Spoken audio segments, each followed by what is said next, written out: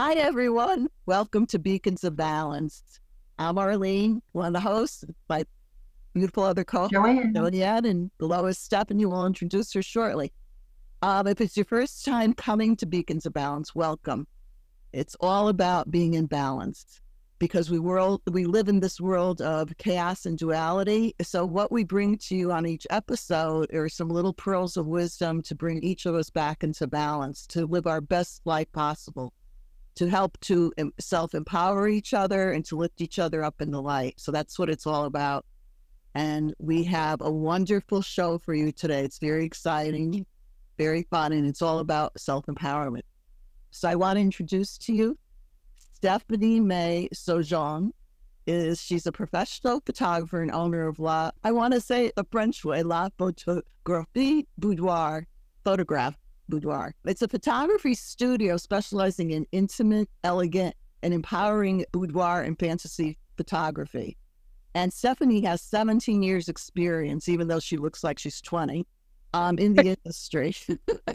Stephanie has a keen eye for capturing the beauty and sensuality of her subjects in a tasteful and respectful manner. And Stephanie creates a comfortable, safe, and creative environment for her clients, allowing them to relax and be themselves in front of the camera she believes that everyone should have the opportunity to feel confident and beautiful, and her photographs reflect this belief. Stephanie has photographed thousands of women, and boudoir photography is an art form that promotes inclusivity and encourages individuals of diverse shapes, sizes, abilities, and appearances to embrace their bodies with confidence and empowerment.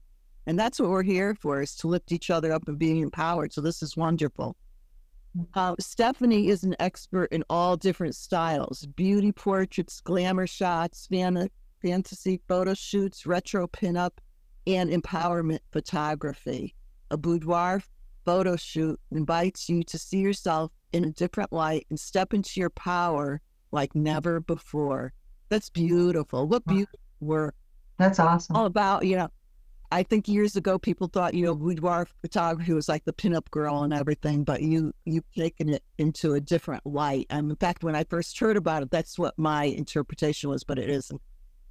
So after we finish this, it, everything, all the information for Stephanie will be listed below. And I just want to say that um, Stephanie, Stephanie's husband is Victor, our wonderful, um, our techie angel, as I call our little angel. He is our angel. I don't know what we would do without him. Oh my God. Me either. Stephanie, we're so honored to have you as our guest today. You know, you know, our show is all about empowering uh, everyone, but what you do, oh my gosh. I mean, I love photography. I majored in it in college, and to see what you're doing to lift people up, uh, just wow. I congratulate you on that. Uh, so tell us, how did you get started in this? Were you always a photographer and then this morphed in from there? Um, thank you so much. Uh, so I have always loved photography since I was a young child and have always been drawn to imagery and art. I grew up really loving fashion magazines. So in the 90s, which is when I was a teenager, um, I would look at, you know, Vogue magazine or Harper's Bazaar and just admire the the clothing, the hair and makeup, the posing, but I never saw myself represented in those magazines. I mean, we all know what the classic supermodel looks like. You know, they are six feet tall and willowy. Um, and I was, you know, I'm five six and curvy. So um, back in the '90s, there weren't a lot of examples out there for how someone like myself could embody that feeling of being glamorous. Um, so I actually went through college. Um, I majored in English and writing. My my goal was to become a book editor, um, and I got an internship in in 2002 in New York City at Paper Magazine, and this is when I was introduced to fashion photography up close. So I was an intern, so I got to run around and pick up clothing from designers and oh, make wow. sure that all of the catering was done. And I basically did a lot of grunt work in that job. Hmm. But this was the first time that I got to see an actual photo shoot happen. And from there, I was so inspired. Um, and after I graduated college, I had some friends who did photography very casually, just amateur, you know, photography, and they would ask me to pose for them. I love to be photographed. I've always been a ham my entire life. Um, I have pictures of myself when I was a child where my mother did my makeup and put me on the table with a little dress on and had me do these different poses. So, um, so I've always enjoyed being photographed. Um, and then around 2007 is when I decided that I really wanted to run my own business. And after watching my friends who were photographers, you know, amateur photographers, I thought, you know what? I think I could do that. I think I could do this. I can learn photography. I can learn how to use a camera and, and try to understand lighting. And so I went back to community college and I took two semesters worth of classes. I took, you know, lighting one, Photoshop. I took um, a class on the business of photography. I learned how to use my camera the right way. Um, and then from there, I started La Photographie. So I started La Photographie in 2007. And initially, I was just very drawn to photographing women. I've always just loved the female form and found it to be so beautiful and inspiring.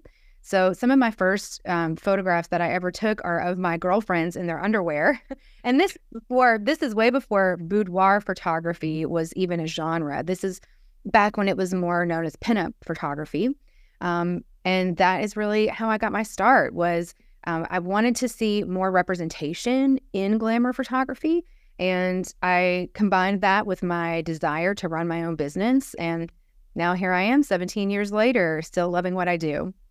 Wow, that's amazing. That Thank is you. amazing. What a, and it's a gift. It's a gift to people. It is.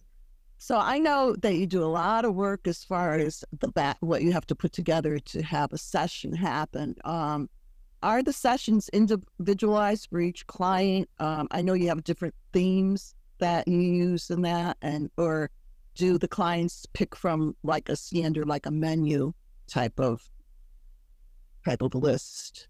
Yes. So everything I do is fully custom for my clients.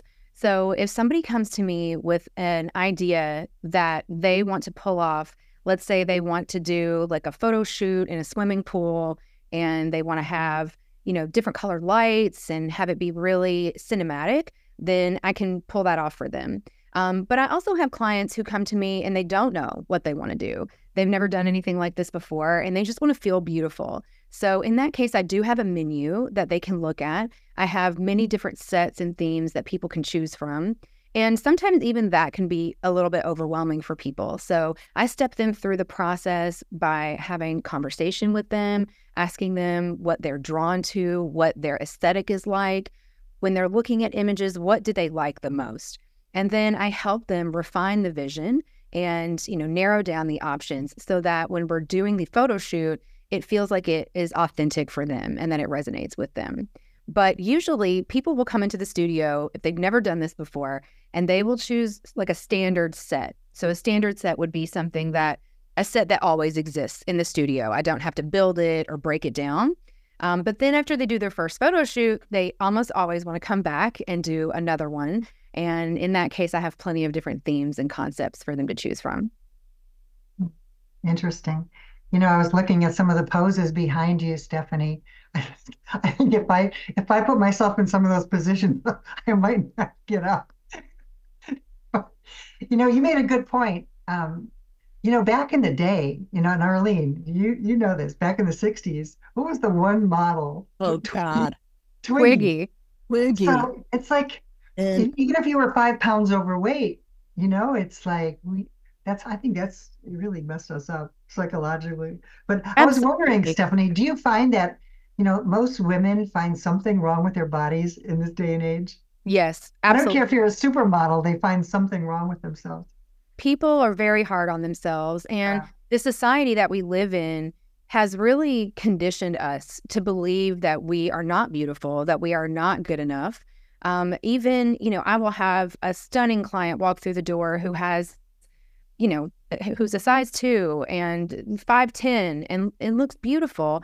Um, Right. and, and she may hate the way she looks and have even like body dysmorphia. Some of my clients really fight with not being able to see themselves truly.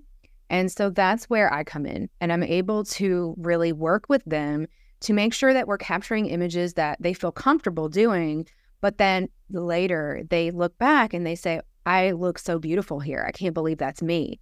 Um, and, you know, some clients may be self conscious about, I, of course, the number one thing that people are self conscious about is their midsection. That's very, very common. Yeah. Um, and so we have a lot of ways of working with that. Some people want to embrace it, they want to see it in the photos so that it makes it real for them.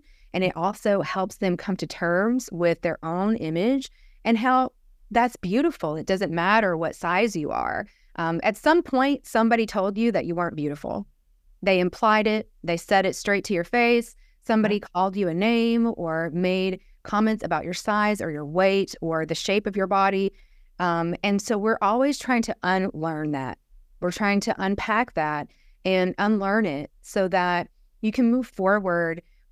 Maybe maybe people don't always get to the place of loving their parts of their bodies that they haven't loved in the past, but I think the goal that I try to encourage people to do or to reach is to just come come to a neutral place about it. If you can just get to a neutral place about you know your midsection or your backside or you know some people get very specific like please only photograph me from the right side of my face because i really don't like the left side um, and those things are i don't see that when i look at them right so to me i try to gently push a little bit to make sure that um, n- not in a way that's going to make anybody uncomfortable but in a way that's going to help them try to break through some of those self limiting beliefs that have been really ingrained in all of us since we were children.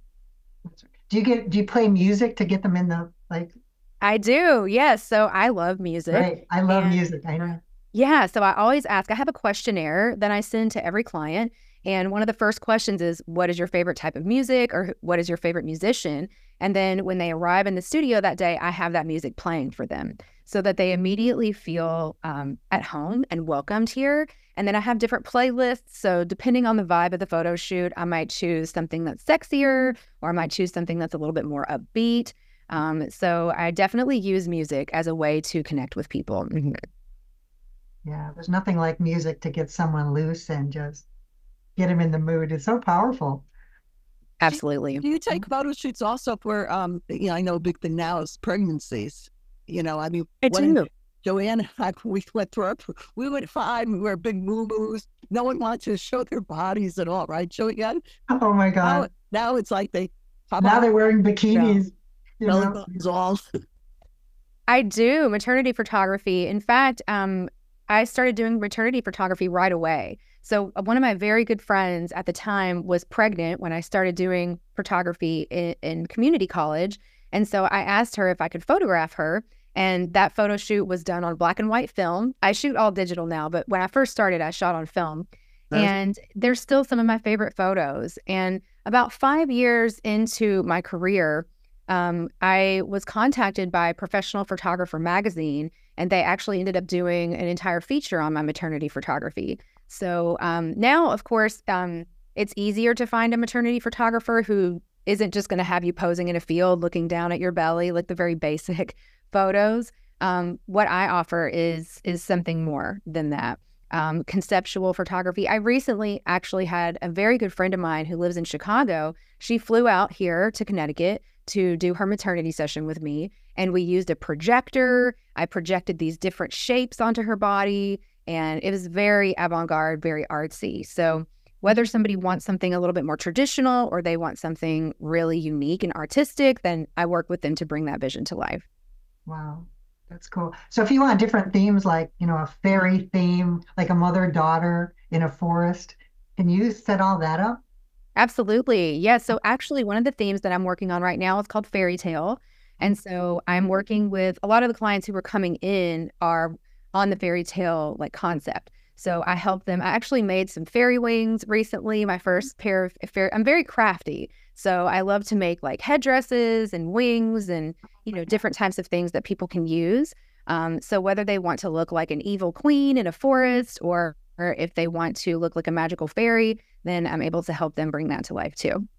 I would do that in a heartbeat. I'm all about the fairies, right, Arlene? You know, Juliet. oh my gosh. Yes. I would get my granddaughters and I'd be, we'd have a field day. It is so fun. It, it really oh, is such gosh. a fun process. Mm-hmm. Even for like a book cover design. Mm-hmm. Oh my God, Absolutely. I've had a couple of my images fun. be used for book covers in the past. Really? Oh my gosh. Yeah, her, her work is amazing.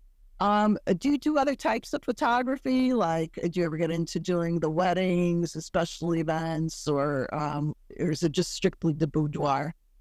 So when I first started, I kind of did a little bit of everything. Um, I wasn't really sure how to niche down at that point in my career. So I started off doing weddings and family photography. Really, I just love to photograph people. Um, but I've even done real estate photography in the past. Um, but in the years that I've been doing this, I've slowly narrowed everything down to where right now, 99% of what I do is um, boudoir or fantasy photography for women. I occasionally will do family portraits, but I don't advertise for that. I don't have a website up for that, so I don't I don't um, put that out into the world. But if you know me or I've done a photo shoot for you in the past, then you may reach out to me for your family photos. I do love photographing children. Um, I think there's something really magical about capturing their spirit. Um, I did my last wedding two years ago, and I have no regrets. I no longer photograph weddings anymore. So um, I've had people reach out to me about it, but I have um, had the pleasure of saying I, I no longer photograph weddings. It's uh, it's just you know I- not really what I'm You have to deal. You have to deal with all the emotions and the bridezillas and everything, and everybody else that wants their opinions done. I'm sure. Uh, that's You a tou- know- that's a tough gig, weddings. Wedding photography is very challenging, and I feel like I'm, I'm so thankful that I've, I've never really had a true bridezilla, even in the hundreds of weddings that I've photographed.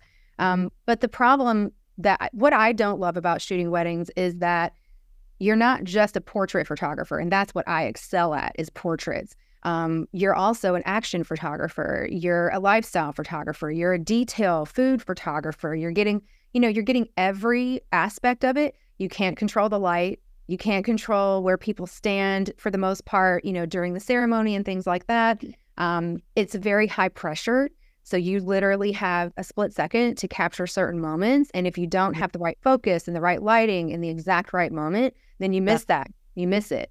Um, and I just find that I love having my studio. I love being able to pose someone, tell them exactly how to you know, how to sit in the chair, where to put their hands, and then I design the lighting around them. So I have a lot more control over portrait photography. And this far into my career, that's you know that's really what I want is to be able to control the environment, um, so that I can help provide the best experience for people. And even though I've I've photographed some beautiful weddings, and I'm very pleased that families will have you know those images to look back on for generations, it doesn't quite suit me anymore to do that. No.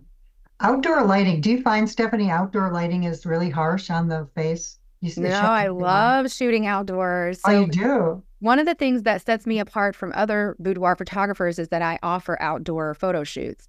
A lot Mm. of photographers who do this genre will only shoot in the studio. Right. Um, but I have learned to really master lighting.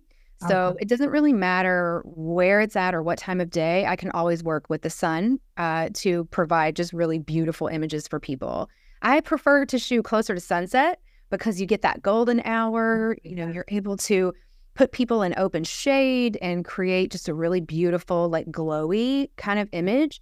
But I actually just did a photo shoot a couple of days ago where we were outside around 5 p.m.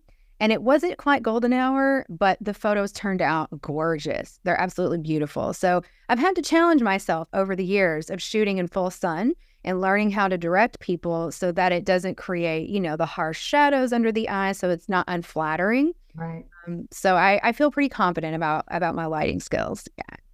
What's really cool. cool, Joanne, um, her pictures that I've seen, and I know her work a little bit, is she'll do some in a pool. When In you're, a swimming pool? I do. I have a some of, so, her, theor- your, some of your theory work, right? The ethereal. In a yes. pool. Like a mermaid? Like Yeah, I've, underwater? I have done mermaids. Yes, I've photographed mermaids both at the seaside and at the swimming pool. Um, so I that neat? feel as soon as we so the this, where where my studio is at is inside of my home, which is an 1895 Victorian farmhouse, and there is a pool in the back. And as this as soon as I walked onto the property and saw the pool, I thought, oh, I have to build a set here. Of course, I'm going to build a set here. So last summer, actually, I built a huge set. I call it Enchanted Waters.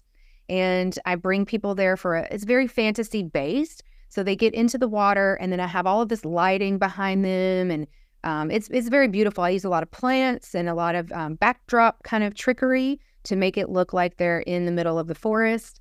Um, so, and I use a smoke machine too, just to create that you know magical element.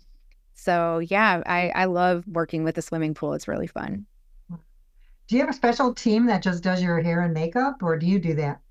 Um, so I actually style hair pretty regularly for my clients because um, I the team that I work with for hair and makeup, they are amazing. I have a few different hair and makeup artists that I work with. Mm. Um, but a lot of them they're they're mostly used to doing bridal hair and makeup. That's their bread and butter. So when they come here, they get to do more fun looks, you know, more experimental looks. Um, but they're not as comfortable doing vintage hair. So if a client comes in and she wants like a vintage victory rolls or rolls, yeah. Something like that, then then I would be the one to style their hair because I have more experience with vintage styling than my hair and makeup artists do. But my team is incredible. I have the best people and everybody always loves the way they look when their hair and makeup is done. It's a big part of what we offer. Wow. I did the victory roll last for Halloween. It's so much fun. It is. Yeah. It takes us back to those bombshell, you know, 1950s yeah. pinup days. That's fun. Yeah, it's funny. Wow. So, Stephanie, do um do your clients? I'm sure they do, but do they get emotional when they see the final? Absolutely. When they're yes. over. I definitely have had, you know, many women who have shed tears during the process of seeing their images, happy tears. um, and I think it can be it's it's really it can be life-changing for people. It really can change the way that they see themselves because when we're when we see ourselves, you know, we're looking in a mirror, you know, or we maybe are looking down at our bodies and so we don't always have the perspective that other people have when they look at us. Mm. And I'm able to use lighting and posing and theme and concept to create an image of them that they're not used to looking at. And sometimes that especially especially if they've never done a photo shoot before and they come in they're, they're nervous but they trust the process. They let me do what i'm what i'm best at. And then when they're looking at their images sometimes it's the first time they've ever felt beautiful in their whole lives. And that mm. could be a really powerful thing and can be very emotional for people. So i always do my best to hold space for people and you know make sure that i'm available should they want to talk through it. But sometimes when we're looking through their images and they're picking out their favorite ones, they just have tears, happy tears coming down. So I'm curious, Stephanie, if I were the photographer and you were the client, what would be your ideal surroundings? That's a great question. So I I do a lot of self portraits. Um, so I like to show my clients, you know, that I also can be in front of the camera and have that vulnerability. Um, so I'm not sure because I've done a lot of self portraits on my own sets and have fulfilled a lot of those, I guess, like my own photo shoot fantasies. So I don't know, maybe something in Paris. I I, I love Ooh. Paris. I um, I've been there a couple of times, but I've never done a full on photo shoot there. So I, I would want to do something that is in another location, somewhere magical that I really love. Oh my gosh. Oh, wow. Definitely, I'll have to come. Go. We're going there next month. Oh, oh, wow. I'm so excited for you. That'll be really fun. I have to talk to you. You have to tell me some places. Absolutely. yeah, I like pictures. yes. Arlene, what would be your ideal background? Oh my God. You so, could pick any background. That would cover me up. Like just your face. A restaurant, bakery. Oh my gosh. I think I would have to be in a fairy forest. and hanging plants and you know, the wreath around my head, like the goddess type. Oh yeah, that's that so Joanne. Oh my God. Yeah. I'm very close by. One of the things I love about the location of the studio is that I'm very close by to a beautiful forest, and then I'm also close by to the seaside. And I'm sort of right in between those places. So a lot of my fantasy clients will choose the forest. And spring, summer, fall, it is absolutely beautiful out there. Oh, that sounds fun.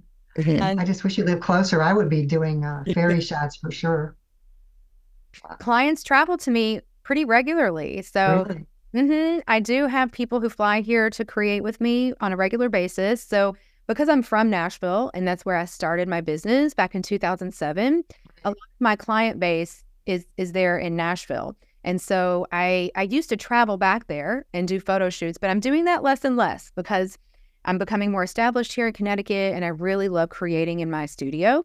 So um, on a regular basis, uh, at least a couple of times a month, people are traveling, flying in. Um, and then regionally, people drive in. Um, last night, my client was from Massachusetts. Um, I have people, last week, I had someone come from Pennsylvania. I have clients down in Maryland. A lot of people come in from New York City or New York State. So the travel part of this is is definitely something that I encourage people if they, if they love what I do and, and they're drawn to my work and to me, then I'm happy to provide travel information for people. Oh, that's fun. So my question is, um, do you ever do males? Oh, uh, that's a good question. So occasionally I will. Um, I don't specialize in that, so I usually make that pretty clear to people if they inquire. Um, I don't get a lot of inquiries from from men. The majority of people that I that I work with are, are definitely women, or um, occasionally non-binary people will come to me, right. but usually not a lot of men. Um, I am starting to photograph more couples, so that's something that I want to get more into doing over the next year. It's um, something I'm interested in doing more of. You know, I wanted to ask you. Um, now this is going to be morbid, but has anybody contacted you that they know they're ill and they're going to be leaving soon and they want to do something in memorial for their family or they want to see themselves in a better light before they do do that final crossing. Have you? Yes. Had, have you had that? Absolutely. Yeah, oh. I've had, I've had a few sessions like that. Um, and it's it's always such an honor and it's very profound to me when someone chooses to capture their essence um, and their form, whether they have a terminal diagnosis um, which is usually the situation. If they've gotten a terminal diagnosis, then they, or maybe they're going to be going through chemo and they want to capture before they lose their hair or before their body changes or before they have a, a mastectomy, mastectomy, um, or after. I, I, have actually, um, I have a, a, friend who has stage four breast cancer and um, she's in her 30s. She's lovely. We've known each other for over a decade. And after she had her um, her spacers taken out and her reconstructive surgery, she did a photo shoot with me to um, to honor that time in her life, and I, am really thankful for that. I've seen some really cool shots where they, you know, the um, the younger person in the family will be holding the grandmother's hand, the weathered hand, mm-hmm. and it's mm-hmm. just a hand shot, and it's just so profound. It's very powerful. I've actually I have done um, a photo shoot with three generations of women um, this was in, I used to travel a lot and, and, and do this. I lived in Denver, Colorado for five years and would travel mm. all over the country to do these photo shoots. And I was in Casper, Wyoming, and had been brought in to do a photo shoot with a woman, her mother, and her grandmother. And, you know, the hair and makeup, very vintage style. We got these beautiful portraits of the three of them together and then some of each of them separately. And then I learned recently that her grandmother passed away and the um, one of the photos that I took of her was used at the funeral was used like framed and you know made large um, as the the memorial image, um, which is of course such beautiful. an honor. That's beautiful. Now I know that um, at, at, one point you were doing like you, you do events like weekends. Um, I know Halloween is one of your favorite, and I know you did something in Salem, Mass, where you know you had a group of women come in and you would do the weekends. Um, are you still doing things like that? Um, so that's on hold right now. Um, I call that the Wild Witches Retreat Weekend. And so the first year we her, name is Madison Hurley, and she's a very good friend of mine, and we love to work together. She lives in Arkansas. So um, typically we will travel to a location and then host a weekend for people. Um, but this year, instead of hosting a full weekend, she and I are just traveling to New Orleans together in December and then offering photo shoots there. So we're not really um, offering a retreat weekend in the same way, where we provide food and a place to stay and, and all of that. And instead, we're just offering for people to travel there, have their own accommodations, and then come and do their session with us. So I'm not sure if or when I'll get back to those full retreat weekends. To be perfectly honest with you, it is a lot of work and it is a lot of responsibility. Yeah. um, so I have found that um, I October is such a busy month for me, as you just mentioned, Arlene. I love Halloween, and I build these big specialty sets around Halloween. So this year, my specialty set is called the Witch's Den, and I have a huge cauldron that lights up and has smoke coming out of it that they can pose in. Um, and so I love set building. And rather than travel and sort of take all of this time and energy and money, um, I'm just kind of deciding this year to stay put and to offer my services here in the studio. Oh, I just thought Joanne, that question you asked, what would be mine? What would I want to be set up in? And you, you said purity and the outside. Well, of course, what would mine be? Angels. Angels. Have to be ethereal and You're sitting on a cloud. angelic with all. I do have a cloud set. I have a cloud Oh, set. you have a cloud set. I do. It's called Dreamlight. my wings out. Well, Yes, we could get you some Halo. wings and a We'll halo. Absolutely. hoist you up on a, Oh God. You have have you swinging from some cables. That'd be funny. Oh my God. So, Stephanie, what has been your biggest challenge in all of this? That's a very good question. I think just being in business for 17 years, seeing, you know, I started my business in a recession. Um, and then I've seen a lot of economic ups and downs over the years. And I think the hardest part of this is just, you know, marketing, making sure that people know that I exist, um, getting the word out, whether it is paid advertising or referral program or in person networking. It's never ending, of course, the marketing side of this, the business side. Um, the photography side that I love and that I'm so passionate about is really only about 30% of what I do. The rest of what I do is um, is marketing and running the business side of things. So I would say that getting clients in the door is the biggest challenge. Um, luckily, now that I've been here in Connecticut for three years, it's starting to snowball, which is what you want. You want that snowball effect. I'm, I'm starting to get repeat clients. In fact, right now, I have a client who has three sessions coming up with me over the next six months. Um, so, repeat clients will come back and book, and then they tell their friends and their friends. And that's really, really helpful. Um, I also would say that, you know, moving to a new state and a new region where I didn't know anyone and starting my business from scratch here was very challenging. Um, and that during that time, I really had to travel to other places to make enough income. Um, and and that that I look back three years ago and I think to myself, like, what was I thinking? I can't, I can't believe that I had, you know, the the guts to to do something so bold. But I'm really glad that I did because I love it here in Connecticut. Um, so yeah, I would say, you know, marketing, getting clients, making sure people know who I am, that is the biggest challenge. Were there times that you want to throw your hands up and say, nah? Absolutely. Yes, many think that's times. a- I think that's a common factor in It business. When I remember when I started my um my shop, it was the same thing. I know just went with nothing. And uh, there were days I was crying that I said, What am I doing here? I'm crazy. I'm gonna close the door, I'm running away, I'm leaving it. I don't know what I'm doing. Yes. I think every businesswoman goes through that. Absolutely. And here. when when you learn that there are ups and downs of business and you learn to ride that uncertainty because i think that any any career is going to have um, ups and downs or pluses and minuses if you have a corporate job then you're required to be there nine to five monday through friday. You know you maybe have probably have a boss telling you what to do. You have to deal with you know coworkers. Um, but you have the security you have insurance you have vacation paid vacation. So there are there are perks to that. Whereas when you run your own business, you can make your own schedule for the most part. You're your own boss, so you don't really have anyone telling you what to do. Um, but you don't have the security, you don't have the insurance, you don't have the paid vacation. So it's all up to you.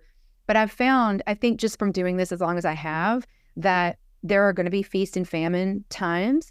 And I've learned to prepare for that and to save and make sure that when I'm in, you know, a feast mode where I'm, I'm creating a lot and my earnings are up, and I save save that so that when I'm in a famine mode, I, I can use that you know money to to get by. But I also find, and I think that you'll really love this, especially knowing what your podcast is about, is that I really just have to trust. I have to trust that everything is working out for me at all times, even when I have a setback. I I have to remind myself that it's okay. This is still working out for my best interest at any given moment. And that is a scary thing because you're hanging over the abyss with no safety net and you have to just trust that the rope is going to hold you. Um, and I find that the more I do that, the better I get at doing it. It's like a it's like a muscle that you build. The more practice you get, the easier it becomes.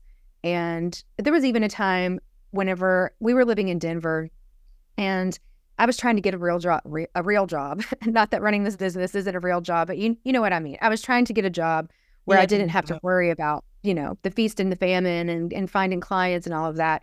And I tried so hard. I put together a beautiful resume. Um, I applied for so many different jobs. I was applying for jobs in different parts of the country because I thought I'll move if I find a really good position somewhere. I have a lot of experience. Surely someone will want to hire me. And I, no, nothing no bites. I spent months, and this happened more than once, where I tried to go into the workforce and actually get employment, and I was not able to find it. Um, I mean, I have a, a, bachelor's degree. I have, you know, 20 years of experience in copywriting, and I'm, you know, I'm able to. I have sales ability. I, I have a lot of different skills, but for whatever reason, the universe did not provide those opportunities for me, and I had to. I had to really come to terms with the fact that this is what I'm meant to do even when it gets hard, even when it seems impossible, even when I don't know where my next client is coming from. Um, thankfully, I'm not in that space right now, but I have been many times in the past. And I have to just trust. I have to trust. And of course, I have to work hard too. I can't just trust that it's going to happen and then it, it, happens. I have to put the work in. Um, I've had to, you know, reinvent my business over and over again to match with the changing times to understand how social media affects my business and to get to know that and learn it. Um, ads, learning how to do ads, understanding Google and web design, all the things that go into it. I have to learn those things. But luck- luckily, I'm really passionate and I'm also really stubborn. so if I hit a roadblock, then then clearly I just have to work harder um, and work smarter. And uh, I just have that sort of personality that digs in, and I refuse to give up. So um, so it brings me to where I am now, even though I have wanted to try to have a, a little bit of an easier life with um, with my career. It's not meant to be. This is this is what I'm meant to be doing.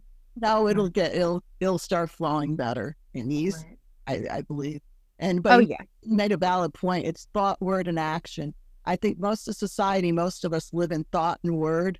We'll think of something creative, whatever. We'll speak about it, but then we fall short of doing the action part. Exactly. Go out there and do that. I mean, you even got when, you know, when I was looking for a relationship and, you know, when I started on the dating sites, at first I was just doing it like, haha, whatever, you know. But when I really defined what I wanted in my life and what I wanted to create, it was a job. It was a job. And I had to do the action part. And I mean, I made it like a business that I was going out there and putting myself out there, you know, it's being very vulnerable. But mm-hmm. um, what you're talking about, everything that you do is is wonderful. It's empowerment for for the women. Well, for all of us, you know, it is about being in balance. Everything you touched upon, right?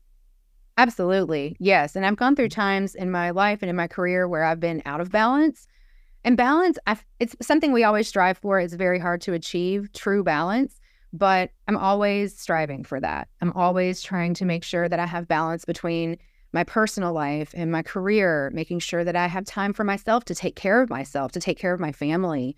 Um, and without that balance, if you're in tune with yourself and you've done a lot of internal work, whether it's through therapy or meditation or um, you know, whatever your approach is, if you've done a lot of that inner work on yourself, then you know when you're out of balance. You can feel it. You know that something is out of whack. Um, and then working to to get in, back into balance is is a process. So uh, all of it is a is an exercise. You know, like it, there's no perfect place that you reach. You just keep trying every day and have grace for ourselves too. You know, try to be kind to ourselves when we can. Mm-hmm. Well, those are all excellent points. Yeah. Stephanie, if you could, what advice would you have for the women out there who really don't feel in balance with their own bodies? They're embarrassed for their own bodies. And you've seen hundreds of, I'm sure, if not thousands. What advice would you give to someone who doesn't feel comfortable in their own skin? Yes. I would say the first thing that we can do is change how we speak to ourselves in our own minds. That is such an important thing. And I, am not, I didn't create this uh, concept, but I've heard it many times, which is the way that you speak to yourself in your mind. Would you speak to your friend that way? Would you speak to if would you tell a friend that they're ugly or that they they don't look good in in a dress or an outfit that they're wearing? You would never say that. You would be kinder. And so I think it's important to speak kinder to yourself. And that doesn't have to, you don't have to go from I hate myself to I love myself. There is a huge gap between those two places. And that's why I think that coming to a neutral place is more attainable for people. So you might not say, you know, I love my body, but you can maybe just say, I'm okay with my body. I'm I the body exists, it is here. I'm not gonna love it. Maybe I can't love it yet, but I'm also not gonna hate it. Um, so I think speaking kinder to ourselves is really the crucial first step of this.